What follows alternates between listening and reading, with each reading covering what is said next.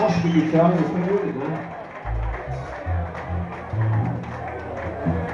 Who wants to hear another one of Roddy's pen songs?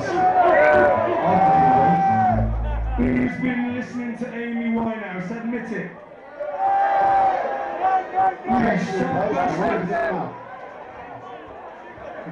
Amy Shithouse. Sorry? Exactly. Very good, my son. If you have been listening to her, then she at least does one decent song. And it is this one. It's called Hey Little Rich Girl.